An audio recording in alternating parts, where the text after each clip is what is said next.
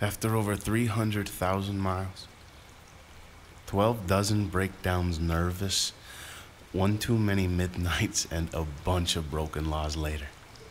I have come here from out of the rain and into this rest area, caught 22 miles between you and me, watching the information man behind his information booth, juggling predictable conversation with folks who look like iceberg lettuce and who believe that somehow the flat lines of small talk will give us life.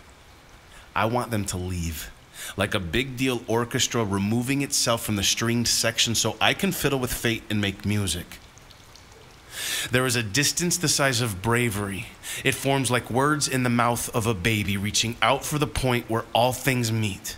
On one end of it sits an information man who I imagine holds down his second job as church bartender behind locked doors leading to the bell tower we are not allowed to see. On the other end of this space, I am standing like shoe polish on an overstocked shelf, hoping that one day someone will pick me to make things better.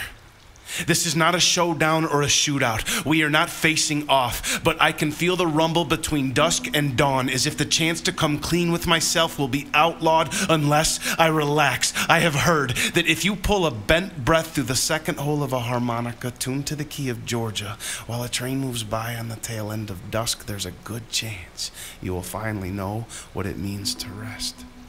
I have not yet rested. It takes a long time to make love with someone who hates themselves. It feels like I've been standing here for exactly that long when at last the rain outside drops off and takes everyone in this rest area with it, except for me and the information man.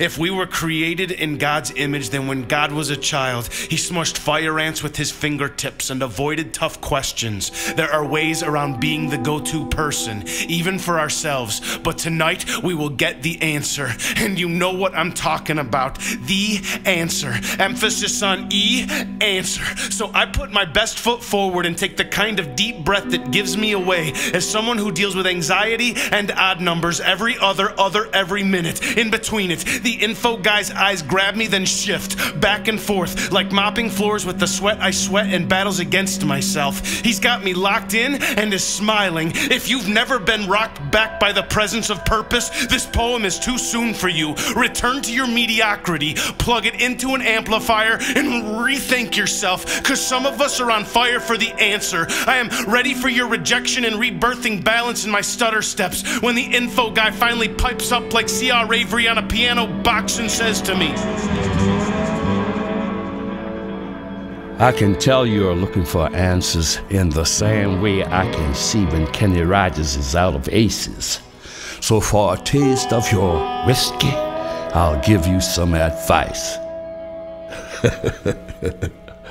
I'm just fucking with you. You're not allowed to have alcohol here, man. It's a rest area. Listen, if I didn't have so much of this life all wrong, I would have gotten it right by now. I talk a whole bunch, but I really know only a few things. So I'm not saying to follow along verbatim here. I'll just tell you the things I tell myself, the things I know, and you see what sticks. I know our shoes were stitched from songs about highways. The best songs are the ones about Georgia.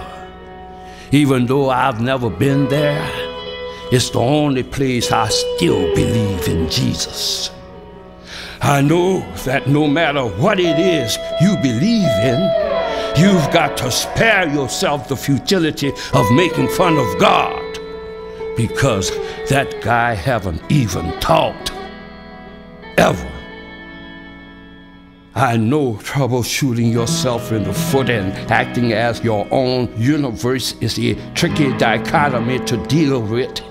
But yes, you are the center of the universe. If you weren't, you wouldn't be here. So, as the middle of space and everything floating in it, it is your job to know that the emptiness is just emptiness, that the stars are stars, and the flying rocks hurt. So please stop inviting walls into wide open spaces. I know everything is out there. It's why they call it everything. I know there are times when you will lay your head to rest and have a moment of brilliance that will grow into a perfect order of words, but you will fall asleep instead of painting it down on paper. When you wake up, you will have forgotten the idea completely and miss it like a front tooth. But at least you know how to recognize moments of brilliance. Because even at your worst, you are fucking incredible. It comes honest. So return to yourself, even if you are already there. Because no matter where you go, or how hard you try, or what you do, the only person you're ever gonna get to be. And I know it. Thank God. It's you.